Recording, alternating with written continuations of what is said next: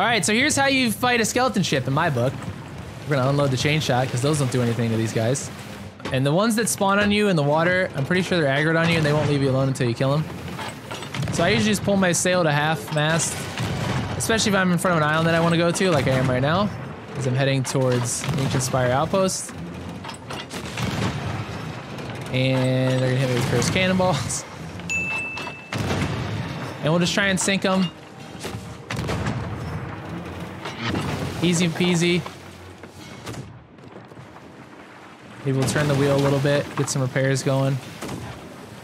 Hit him with another cannonball.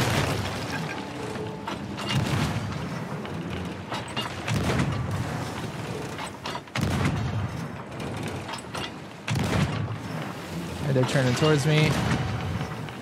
So I've only taken a little bit of damage right now, so I don't feel like I have to repair completely. Come down here, grab a bucket. Repair. But I find that if you're going full speed and you stay going full speed, you've hit a bunch of shots into these guys, it can be hard to find where they sink. The good news is, is that as of like, I think season, the season two update, they made it so that when you sink one of these guys, they actually have like the little birds, the same like bird, that birds that fly around barrels in the water. Um, so he just sunk. That's the sound effect of them sinking. I'm gonna pull sail.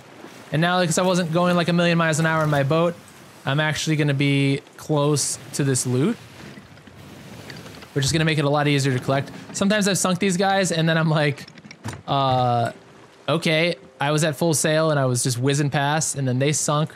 Like as soon as their boat starts to sink, they just stop, and then you got to backtrack on your path and go back and find them.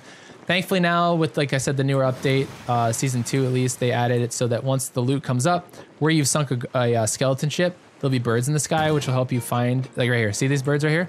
Help you find these a lot easier where the loot is going to be. But luckily, I planned this accordingly and perfectly, and the loot's right here, ready for me to take.